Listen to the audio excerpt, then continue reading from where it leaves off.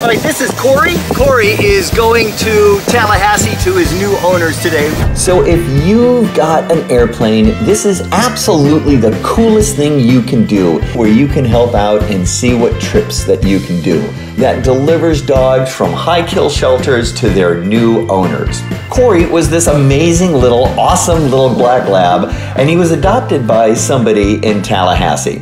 So after a couple of email exchanges with the rescuers, all in all, it took about a week. Uh, there were six people, two vehicles, and two airplanes. Gonna meet this other pilot, Randy, who is gonna take him the rest of the way to Tallahassee.